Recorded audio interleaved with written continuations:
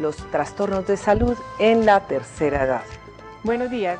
Tenemos una gran ventaja y es que se cambiaron los papeles y a nadie le dijimos, ¿cierto? ¿Por qué? Porque cuando hablas de que yo tengo la experiencia, no, tal vez haya estudiado, pero ante la experiencia que ellos tienen, yo creo que no debo ser yo la que responda. Estamos hablando de lo que son las enfermedades y me traen a tres personas increíblemente sanas y con un bienestar así que se lo quisiera uno. A la edad que yo tengo, me quisiera el bienestar y la vitalidad de ellos. Entonces ahorita, ustedes saben que siempre hay un antes de cámaras, nos pusimos a conversar con esta pareja, con el doctor Delgado, y hablando de experiencias, hablamos del por qué debemos envejecer y cómo debemos envejecer.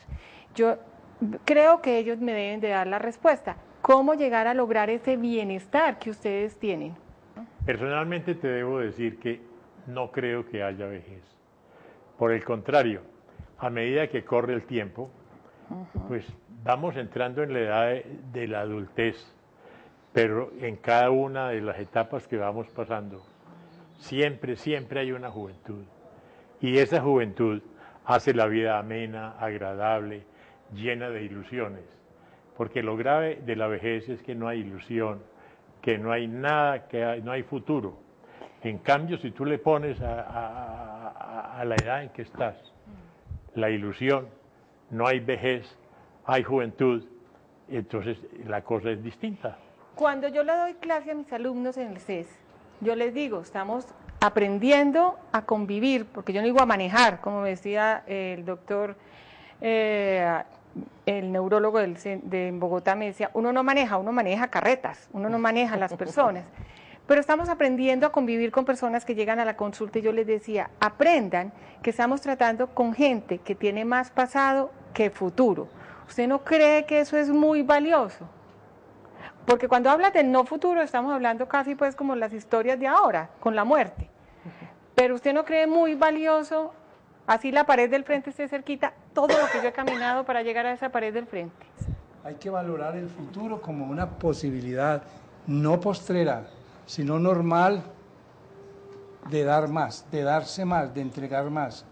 Si hemos recibido tanto a lo largo de tantos años, se nos crea una necesidad biológica, y yo la llamaría eh, moral, de entregar. Nosotros somos simplemente unos tenedores ocasionales privilegiados de algo que tenemos que entregar. Y al entregarlo, crecemos. Por eso para mí el futuro es hermoso, valioso, importantísimo, y no valoro más el pasado que el futuro. Por igual los valoro. Eh, yo pienso que una de las claves entonces es ese estar pendiente de darle a los demás toda esa riqueza de pasado. Y según Álvaro, una de las claves es mantener vivas las ilusiones. Mantener ilusiones, porque no todas las personas que van llegando a esa edad las tienen. Es que la gente las va dejando morir. Nosotros hablamos, lo importante en la vida es la actitud. Si manejas una actitud negativa, si manejas una actitud pesimista, una actitud de perdedor, por poquitos o por muchos años que tengas vas a tener un estilo de vida muy maluco. Y ese estilo de vida, combinado con la desocupación, con el ya no sirvo, ya me envejecí, ya me deterioré, estoy feo, te va a enfermar. No va a enfermar de una hipertensión, no a enfermar del corazón, pero te va a enfermar en la vida. Y el que tenga enferma la vida, me parece que está más grave que cualquiera. Yo por eso, a esta dama, Cecilia, le quiero preguntar, ella como mamá, como estructura de una familia, ¿qué nos quieres decir para conservarte también como te conservan? Entre otras cosas, ¿cuántos años de casados es que llevan? 54. ¿Qué ejemplo de vida? Acabamos de cumplir 54, 54 años de casados y yo creo que lo importante es eh, mantener eh, eso que tú dices, esa actitud positiva hacia todo. Eh, la vida trae cosas difíciles de superar, pero no nos debemos quedar en esa, en esa parte negativa, sino más bien tratar de sacar todas las cosas buenas que se van presentando todos los días.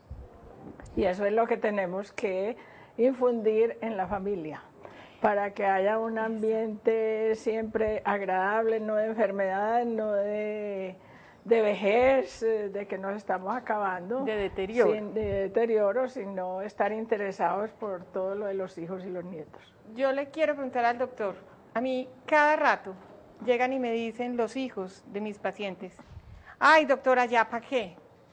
¿Ya para qué? Ni siquiera ya para qué, no se los gastan, ya para qué. ¿Usted qué opina de eso cuando se jubiló? ¿Cómo fue su ya para qué? Yo no me he jubilado en primer lugar. Cuando yo cumplí 60 años, una misa muy bonita a la que me invitaron mis hermanos, todavía vivía mi esposa, estaban todos mis hijos, y hablaron de los 60 años de Alberto Delgado. Y yo me puse a buscar a Alberto Delgado. No sabía quién era Alberto Delgado. Desperté de un sueño completamente ficticio, pero entendí equivocadamente que debía hacer una preparación para que mis hijos me aguantaran, para que soportaran los achaques que me iban a llegar irremediablemente. Así trabajé en unas notas durante un tiempo largo, pero un buen día y buen día pensé que era más fácil, por pura lógica, que un señor se acostumbrara y no tratar de acostumbrar a siete u ocho o diez personas a mis caprichos. Y cambié, destruí por completo lo que había escrito y cambié.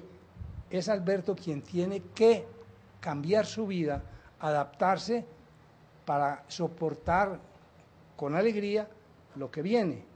No voy a atormentar a nadie, sino que voy a hacer una pequeñísima cuota de sacrificio para vivir como ellos tienen derecho a vivir.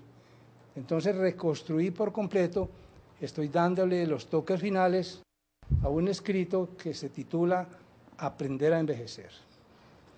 Nunca es tarde para reemprender el camino.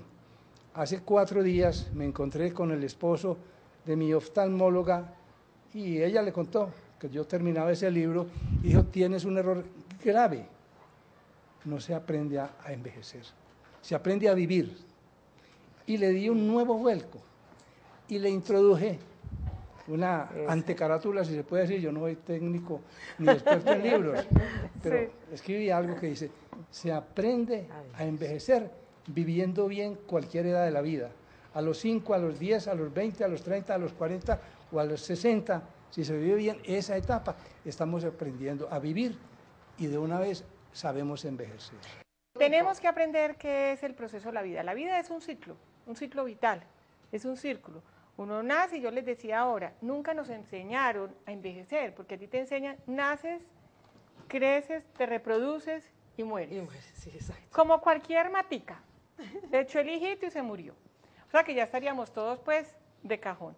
Nunca nos enseñan, uno nace, crece, se reproduce, envejece y muere. La vida no es parar cada año o ir a quitarme el 31 de diciembre todo lo que acumulé. El que fuma, acumula el que come mucha grasa no es porque sea dañina, pero al que le hace daño, le hace daño. El que vive en la vida es una suma, una suma, una suma, que al final depende del estilo de vida, depende de la actitud, te sale el resultado, simplemente total, punto. Pero no es cuando más enfermedades se presentan. Mucho ojo. El embarazo tiene sus riesgos, la menopausia pues no deteriora como tal, pero desconfigura, como se usan ahora los términos, mucho a la mujer. cambia. En la adolescencia, en época de vacaciones. Ahora es el trabajo de los ortopedistas. Entonces, cada época, cada vida tiene su condición física. Que es lo importante, que también lo hablábamos ahora, es que a pesar de tener diagnósticos o de haber acumulado cosas dentro del organismo, uno siempre busca el bienestar con palabritas separadas.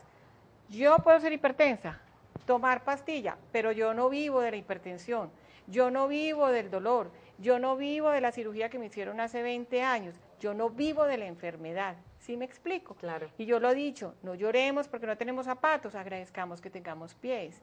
Hasta aquí entonces, agradeciendo a nuestros invitados, a María Francisca, muchas gracias por estar aquí.